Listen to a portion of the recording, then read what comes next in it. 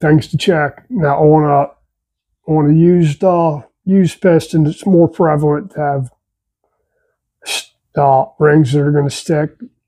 So if you're putting a new ring package in there and you just stick your ring in there, kind of roll it around all the way around the piston, and it should move fairly decent. Uh, what you can get from detonation or whatever, you can get distortion in the ring lands to where it's actually pinching one of the uh, it's actually pinching one of the uh, rings there.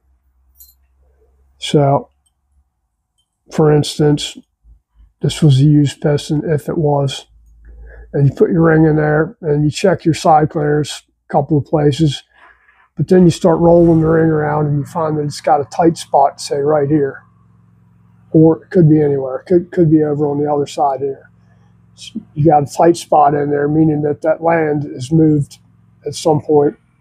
So it's like pinched together, kind of. But you'll stick the ring, and when it sticks the ring there, what will happen is that ring will wear in that one spot where it's stuck. So hardly ever happens on four. I've seen it happen on four strokes, but usually on two strokes, I pull them apart where you, you go and measure the ring, and you don't even have to measure it. Sometimes you can look at it and you'll see that you know half the ring's going on one side of the piston. One side of the ring is like half the size of the other size. That's because that ring was stuck in there at some point in time, stuck in the uh,